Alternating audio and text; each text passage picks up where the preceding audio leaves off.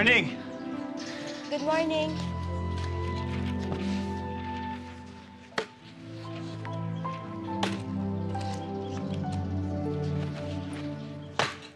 Sila Celine? Ay, kanina na pa umalis eh. Kasama si Wanda. Maglalakad-lakad daw sa beach.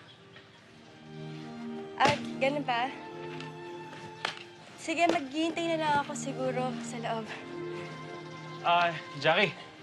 Ang sabi ni Celine, baka daw matagalan sila. Kasi itong si Guada gusto raw mag-swimming. Teka, may paghandaan muna na almusal. Ah, hindi, hindi. Sige, ipagpatuloy mo lang yung ginagawa mo. Okay lang ako. Tara na, kumain ka muna. Salamat. Oh, ah, kain na, kain na. Thank you.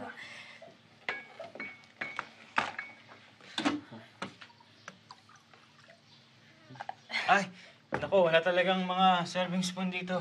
Kamayan lang, oh. Okay lang, ako Okay na. yan? Thank you. Tikman mo to. Ah, hindi, teka. Ito ang tikman mo. Yung karne nito, oh, galing sa farm. Masarap yan. Okay lang, Sabi mo na sa okay iyong lang. sausawan, no? Thank you. Kain na na kain, ha? I- ikaw rin, kumain ka na. Ha? Ha? Sige. Sige. Ito pa. oh. Sige lang, sige lang. Okay. Salamat, salamat. Ah, Jackie, salamat nga pala sa pagdalaw mo sa nanay ko. Nako, auntie ako, nung makita ka nun, tuwan-tuwa yan. Ako rin naman natawa na nakita ko si Nan. Yung nanay mo. Salamat na nga lang kala nanay Bebe tsaka kay tatay Simo kasi hindi nila pinabayaan yung nanay mo. Nako, eh, kung alam mo lang, talagang nagpapasalamat ako kay Nanay Bebeng at talagang ang turing nila sa amin eh, parang pamilya na eh.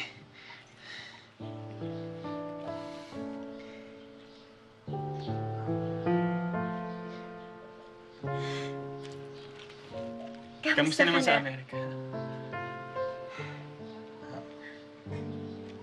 I'm Okay na. fine. Masaya naman Masaya. ako dito.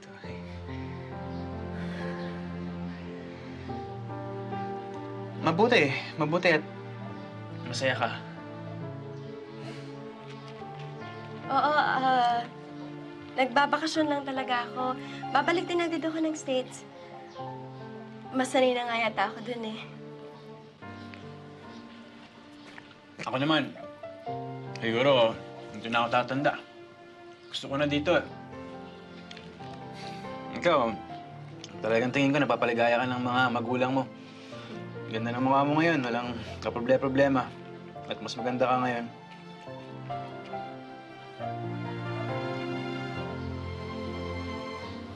Ikaw rin. Maganda yung kulay mo ngayon. Tsaka, mas maliwalas yung mukha mo. Mukhang nag enjoy ka talaga dito eh.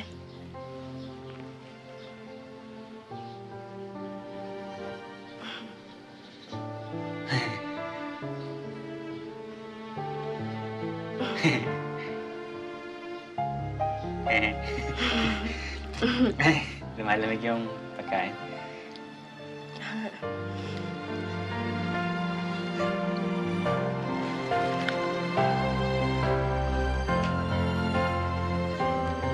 Ah, s- sige, sa'yo na. Hindi, hindi. Hindi. Hindi. Sa'yo na. Ayan. Sa'yo na, sa'yo na. Salamat.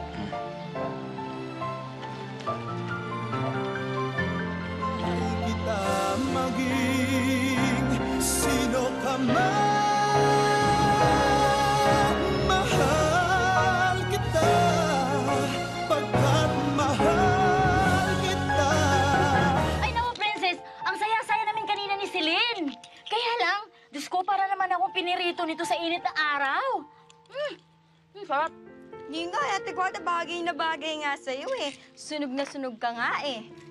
Buti nga sa'yo. Eh, paano naman? Nawala yung saya ng paggamit ko ng papaya soup, no? Ang hapdi talaga, promise.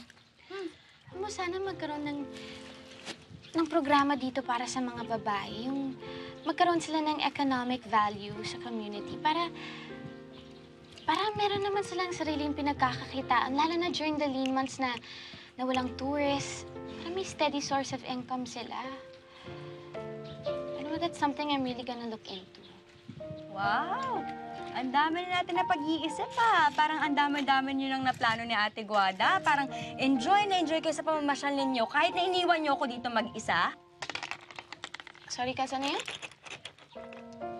Wala. Ay naku, nagmumuryot yan kasi iniwan natin mag-isa.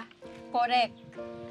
Kaz, eh, alam mo bang strategy lang namin yun eh. Para naman magkaroon kayo ng quality time ni Ellie. Yes naman. Ano ba kasi yung quality time na sinasabi nyo ha? Anong quality time namin yung sinasabi ninyo ha? Ano ba yan? Eh, kumusta naman yung bonding yung dalawa? Success ba? Tigilan niyo akong dalawa ha? Pwede ba? Kami dalawa nag-almusal lang kami tapos umalis na siya. Kaya kayong dalawa mag-guilty kayo dahil kanina pa ako mag-isa dito. What? You're alone? Iniwan Oo. ka mag-isa dito? Oo. Dahil marami pang ibang gagawin yung tao. Ang sabi niya, pag nagutom ako, kumuha lang ako ng pagkain dyan sa loob. At syempre, ako naman, naisip ko kayo, kaya pinaghanda ko kayo ng pagkain kasi naisip ko baka, baka yung dalawa pagod na pagod sa pamamasyal. Baka gutom na gutom sila kasi ako, nag-iisip ako tungkol sa inyo. Sorry na, sorry na, peace na. Ay, ay, ay, ikaw din naman kanina sa kwarto, no? Ang lakas nga ng hilik mo, tulog na tulog ka. I didn't have the heart to wake up. I just couldn't. Alam mo kung bakit? You're right. Mukha kang nananaginip ng... Di ba mayroon pa siyang... Ikaw, lusot mo. Tumutulog Ay, hindi ah. Talusot mo kayong dalawa eh. Kay, Magandang hapon po. Pinadadala po ni Senyor Ellie. Ay, ay, ang daming fruits! Ganda na naman na ang naman, putis ko mahiya ka, mahiya ka. Mahiya ka na naman eh. Ay, Pasensya na po. um, si Ellie ho, saan? Naku, nasa bukid pa ho. Bukid? Ay, grabe. Ang ganda-ganda talaga dito. I just love this island. I love the trees. I love the sky. I love the earth. And I love this Carabao! Ako rin, princess. Nung pagdating natin dito, muntik na ako mangiyak-ngiyak. Kasi naalala ko yung buhay natin sa probinsya noon. Di ba? Teka, asan nga pala yung prinsipe mo? Ay! Ay! Papa Eli! Papa Eli! Yoo! Papa Eli! Woo! Papa Eli! Si Papa Eli go ako! Papa Eli! Woo!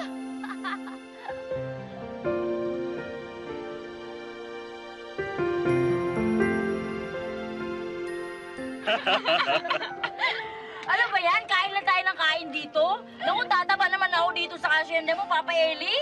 Ano bang hasyenda? Wala akong hasyenda, bukid lang tong akin.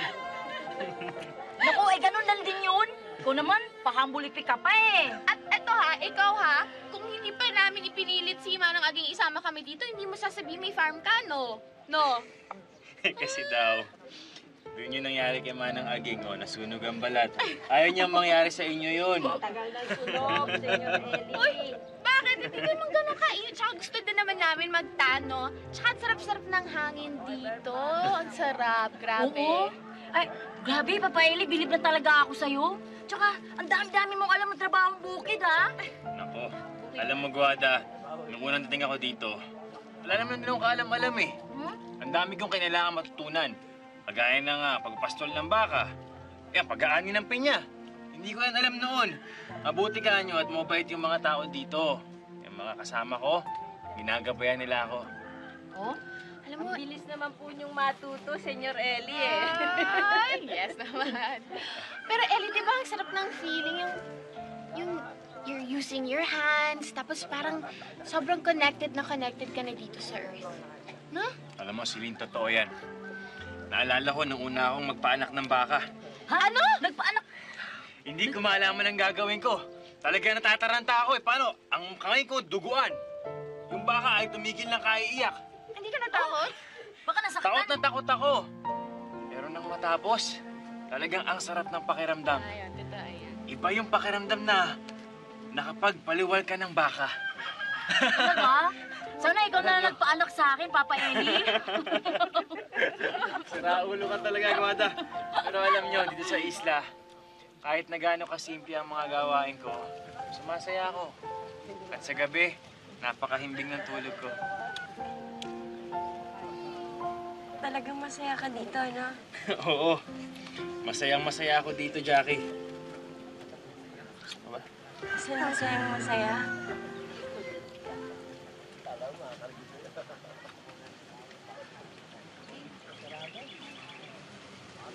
Masayang masaya. Eh, di ko masaya ka, edi. Pumalakpak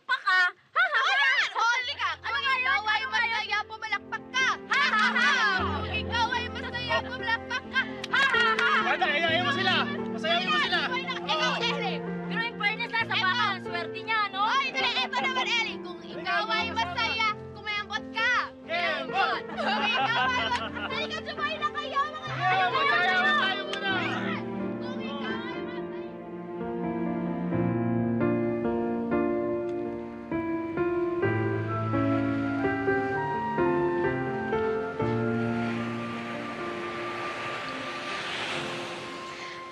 Ka lang pala.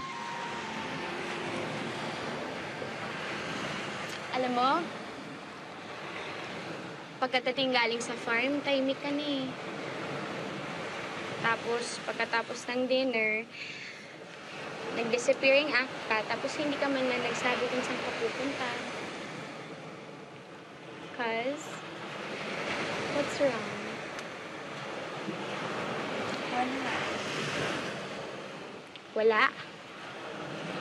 Eh, kahit pilantik ng daliri mo, alam ko ibig sabihin eh. Kaya wag ka na maglihim pa sa akin. Cause,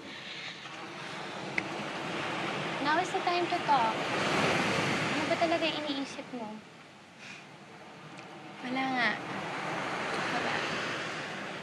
Isa pang mula mo, mauubos na talaga pasensya ko sa'yo.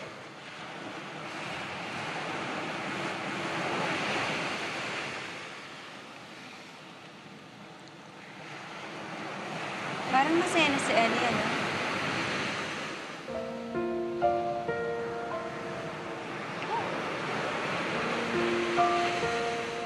Parang... Masaya na talaga siya. Parang hindi nga siya yung Ellie na nakilala ko eh. Hmm, Ibang-iba na siya. Mukhang okay na okay. Alam mo, ang galing-ang galing talaga ng island na to eh. Tinatanggal niya talaga lahat ng bad memories mo. Tapos pagkagaling mo dito, ibang tao ka na.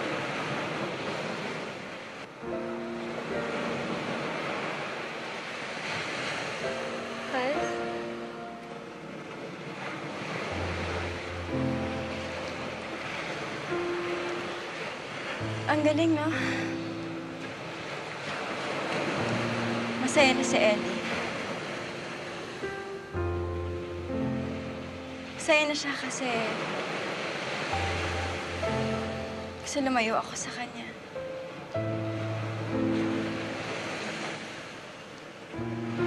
Masakit na talaga, Kos.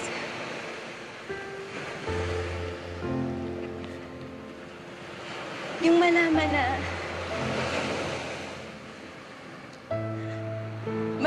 taong minahal mo. Okay na siya. Okay na okay na siya. Kahit wala ka na.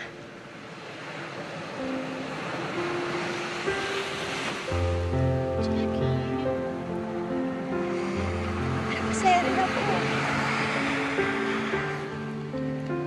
Masaya din ako.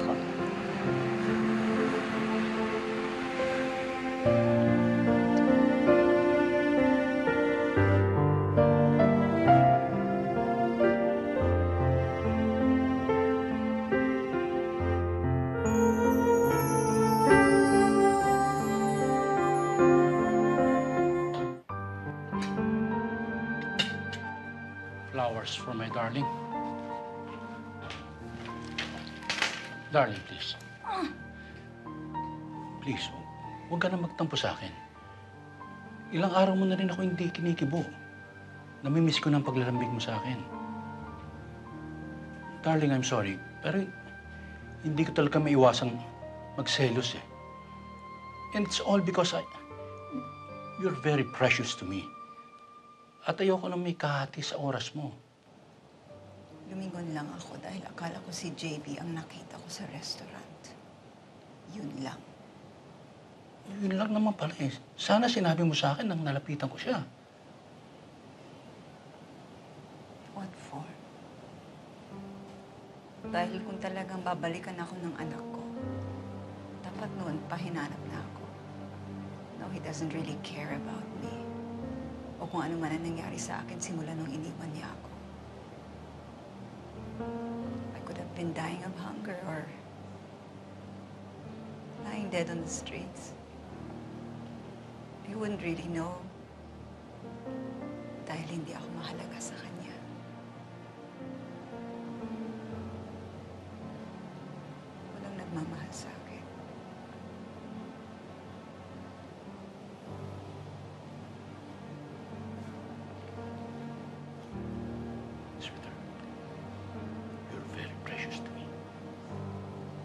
Sa akala.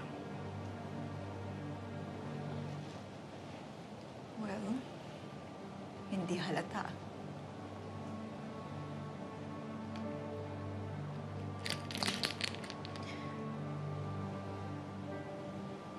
Ano yan?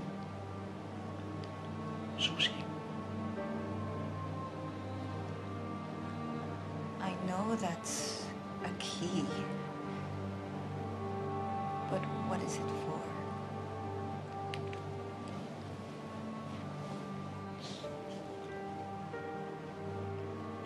para makita ko ulit ang matatamis mong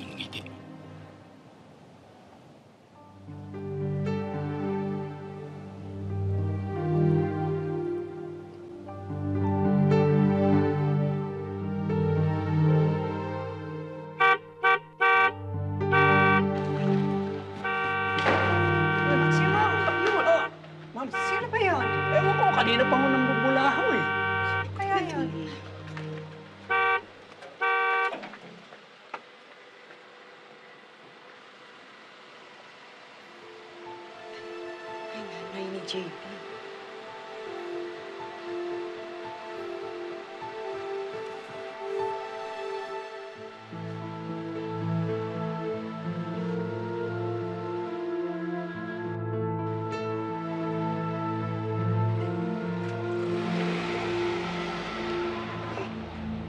Ano yun? Ba't ganun yun, ma'am? Nagmamalaki?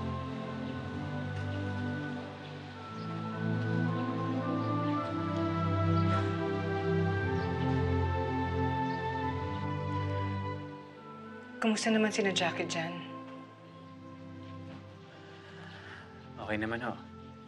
Mukhang nag-enjoy naman sila. Nagtatampo ka ba sa akin?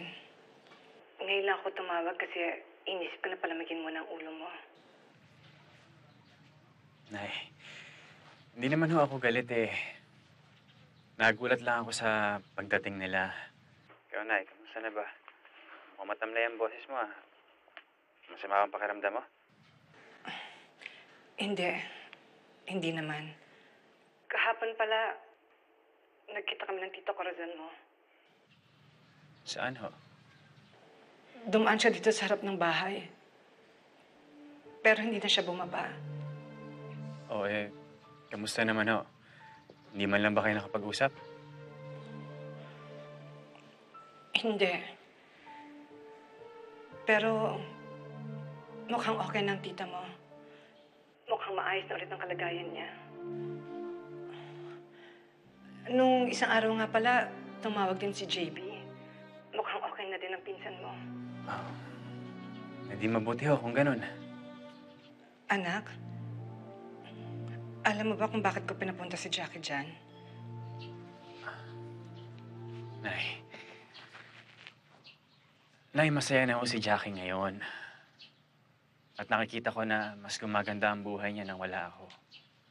Anak, pinapunta ko dyan si Jackie para maalala mo yung dating Ellie. Yung dating Ellie yung nagmahal kay Jackie.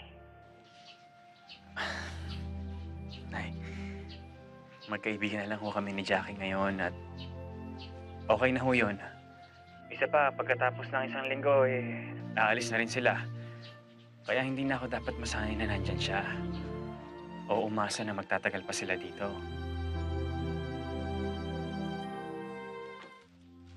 Hoy, Celine, saan ka na naman pupunta, ha? Eh, yung mga nakausap ko ng mga kababaihan, eh, taga-kabilang island daw sila. Sabi ko, I'd visit them para makita ko kung saan nila ginagawa yung mga home decor, itong mga bracelets.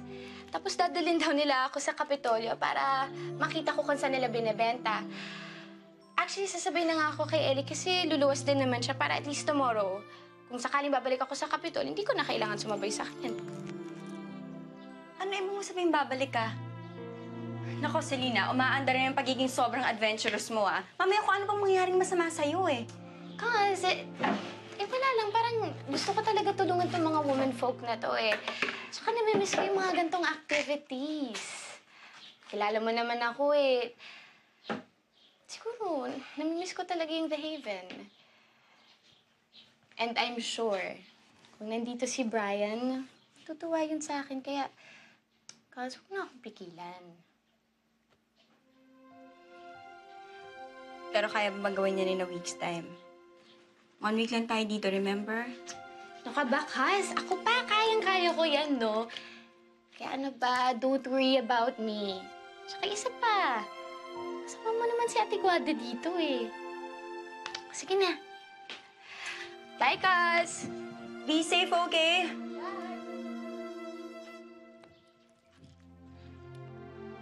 Oh, ingat lang po ah. Bilis lang po. Ingat po, ingat. Oh, bilis, mabigat oh. Para ito pa. Oh, dandan. Oh! ah, ko na kayo.